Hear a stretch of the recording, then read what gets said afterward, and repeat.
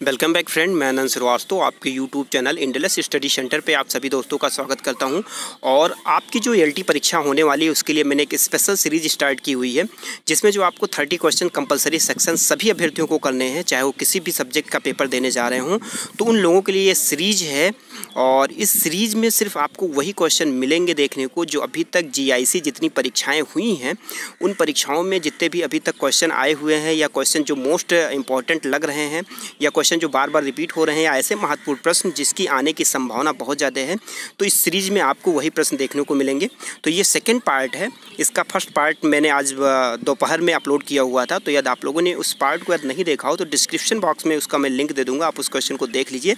क्योंकि अगर आप पेपर देने जा रहे हैं एल का तो ये सीरीज़ कहीं ना कहीं आपको फ़ायदेमंद हो सकती है। साथ ही साथ मैं आपको ये भी बता दूँ कि करंट अफेयर्स के भी एक दो वीडियो मैं आप लोगों को एक दो दिन में ज़रूर दूँगा, जिससे ये रहेगा आपके थर्टी क्वेश्चन वाली जो सेक्शन रहेगी वो आपकी पक्की तैयारी हो सके।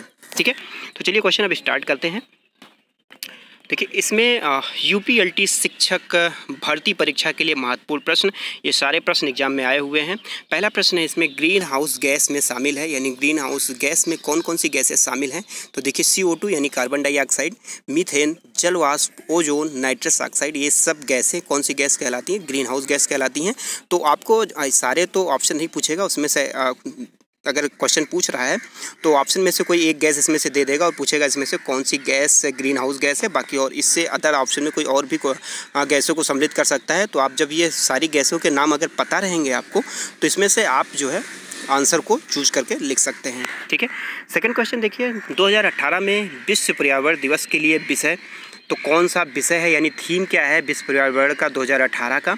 तो बीट प्लास्टिक पॉल्यूशन जो है, वो 2018 इन्वायरमेंट की जो है एक थीम है या कोटेशन कह सकते हैं। और यहाँ पे लिखा नहीं हुआ है, इसलिए मैंने आप लोगों को ओरली बता दिया हुआ है। थर्ड क्वेश्चन देखते हैं, दिल्ली दरबार आयोजित हुआ था। तो दिल्ली दरबार किस सन में आयोजित हुआ था? तो 1911 ईस्वी में दिल्ली दरबार आयोजित हुआ था। नेक्स्ट क्वेश्चन देखते हैं, भारत में अंग्रेज़ों के शासनकाल में सभी तीनों गोल में सम्मेलन आयोजित हुए थे, यानी किस जगह पे हुए थे तीनों गोल में सम्मेलन जो भारत में अंग्रेज़ों के शासनकाल में हुए थे? तो कलकत्ता में हुए थे, ये तीनों गोल में सम्मेलन जो थे वो कलकत्ता में आयोजित हुए थे। ठीक है? नेक्स्ट क्वेश्चन देखते हैं। भारत में अंतर्राज्यीय परिषद स्थापित की गई थी तो भारत में अंतर्राज्यीय परिषद जो है 1990 में, यानी उन्नीस सौ नब्बे ईस्वी में स्थापित की गई थी। नेक्स्ट क्वेश्चन देखते हैं। सुबह का तारा तथा संध्या का तारा कहा जाता है। तो किस ग्रह को जो है सुबह का तारा, संध्या का तारा कहा जाता है? तो वो शुक्र ग्रह है, जिसे सुबह का तारा या संध्या का तारा कहा जाता है। साथ ही साथ शुक्र से संबंधित एक दो और फैक्ट है, मैं आप लोगों को बता दूँ। सबसे चमकीला ग्रह शुक्र है, ठीक है? सबसे गर्म ग्रह की बात करें तो भी शुक्र है। सुबह का तारा इसका उपनाम हो ही चुका, संध्या का तारा भी हो ही चुका। और पृथ्वी की जुड़वा बहन भी शुक्र को कहते हैं। तो शुक्र से ये तीन चार फैक्ट इंपॉर्टेंट जो अक्सर क्वेश्चन में पूछ लिए जा सकते हैं या पूछने की संभावना है तो ये शुक्र से फैक्ट निकल के आ रहा है, ठीक है? ये भी क्वेश्चन पूछा गया, यानी सारे क्वेश्चन हैं जो आप, अगर आपके पास प्रैक्टिस सेट है तो वहाँ से भी आप उठा के इस सारे क्वेश्चन को देख सकते हैं। यानी सारे जो जीआईसी के अभी तक पेपर हुए हैं 2008 से लेकर 2015 तक, ये सभी वर्षों के पेपर का एक तरीके से सम्मिलित रूप इस सीरीज़ में चलेगा। सेवन क्वेश्चन नंबर देखते हैं। न्यूनतम पर्यावरणीय प्रदूषण उत्पन्न करेगा। तो न्यूनतम पर्यावरणीय प्रदूषण कौन उत्पन्न करेगा? वो कौन सी गैस है? तो हाइड्रोजन गैस जो है, सबसे कम मात्रा में पर्यावरणीय प्रदूषण उत्पन्न करती है। एट क्वेश्चन नंबर देखते हैं। विश्व पर्यावरण दिवस मनाया जाता है। मोस्ट इंपॉर्टेंट क्वेश्चन है। तो विश्व पर्यावरण दिवस जो है, पाँच जून को मनाया जाता है।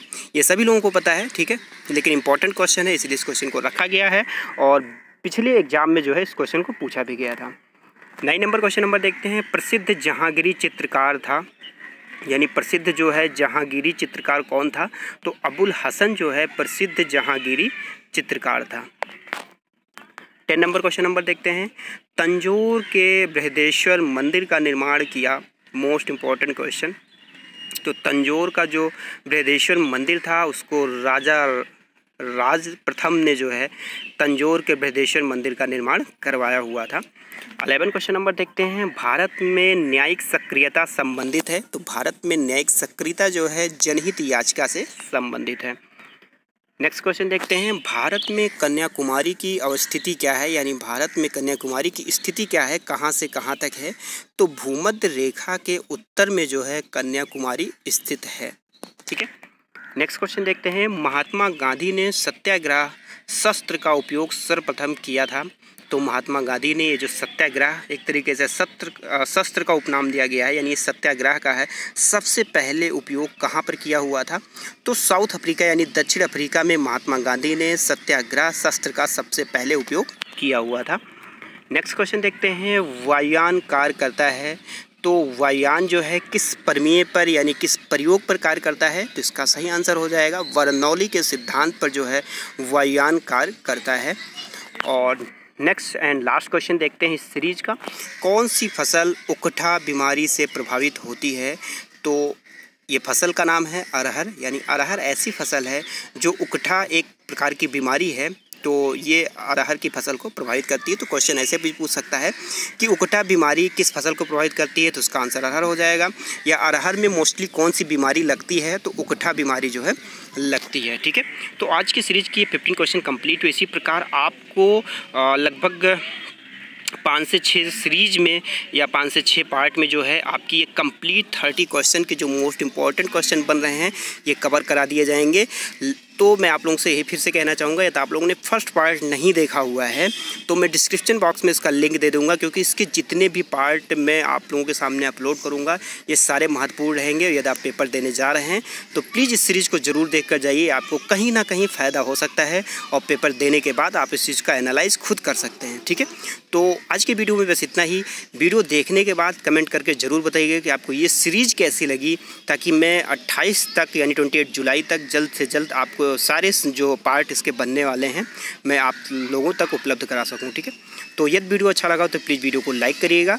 चैनल पर नए हैं तो चैनल को सब्सक्राइब कर लीजिए और साथ ही साथ अपने व्हाट्सएप और यब ग्रुप में ज़रूर शेयर करिएगा। थैंक्स फॉर वॉचिंग दोस्तों। Thank you